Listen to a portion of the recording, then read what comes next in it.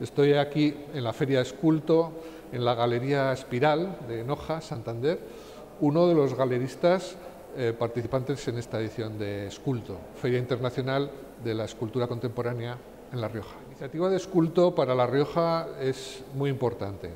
Eh, es una feria que representa algunas de las virtudes y de los valores que queremos eh, ensalzar e integrar en la identidad regional. Una feria audaz, moderna, contemporánea, activa, emprendedora. Eh, creo que todos los riojanos debemos visitarla, debemos eh, aprovechar este estímulo que nos brindan una colección de artistas con sus obras de múltiples estilos y que sin duda nos hará reflexionar y aprender un poco de cómo integrar el arte en nuestra vida. el diálogo entre la obra y el espectador siempre es único.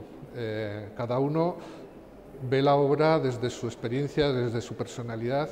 Estoy seguro que cada espectador, cada riojano, cada riojana encontrará esa obra que le llegue muy dentro y podrá ver muchas formas de tratar la materia y el espacio que en definitiva es la escultura.